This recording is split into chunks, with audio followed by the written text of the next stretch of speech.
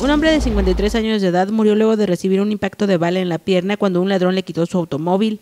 Los hechos ocurrieron en el estacionamiento de un restaurante ubicado en la tenencia Morelos de Morelia. La víctima, identificada como Carmelo Vargas Godoy, era un ingeniero que laboraba en el campus de la UNAM. Llegó al lugar junto con dos acompañantes. En el momento, un sujeto desconocido se le acercó y exigió las llaves del vehículo de modelo reciente. El ingeniero no puso resistencia al robo, sin embargo, al presunto asaltante se le disparó el arma y lesionó en la pierna a Vargas Godoy, quien murió tras desangrarse a pesar de la asistencia médica prestada por elementos de seguridad pública estatal. El ladrón huyó a bordo de la unidad. Hasta el momento se desconoce su paradero y su identidad.